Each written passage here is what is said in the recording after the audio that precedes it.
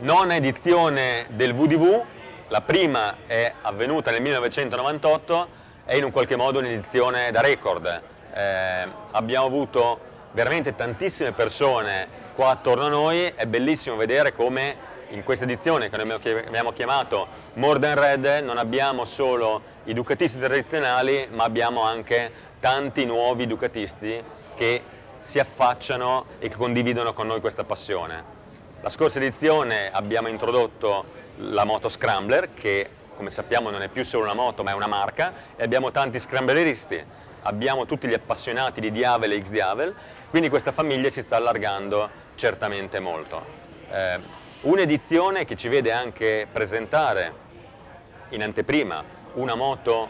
che lanceremo nel 2017, abbiamo lanciato la eh, Super Sport, che è una moto sportiva stradale presentata in anteprima per tutti i ducatisti, cilindrata 936, quindi un bel modo anche di accedere al mondo Ducati con una sportiva più semplice, facile, anche accessibile, anche accessibile come prezzo, eh, quindi certamente è stata una bella sorpresa per tutti i ducatisti che hanno partecipato a questo raduno. Questo raduno in cui non più solo abbiamo la gara di accelerazione, ma abbiamo anche la gara di flat track che abbiamo realizzato eh, ieri, vinta da Andrea Dovizioso, quindi che sta continuando ad aumentare eh, nei contenuti e quindi certamente che rimane un punto di riferimento interessante ed appassionante per tutti gli appassionati di Ducati.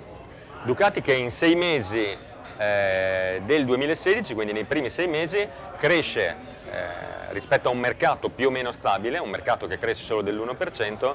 abbiamo presentato dei dati con una crescita attorno al 7%, a dimostrazione di come in un qualche modo questa strategia di allargamento eh, della nostra gamma in segmenti anche adiacenti ci permetta di continuare a far crescere le dimensioni dell'azienda.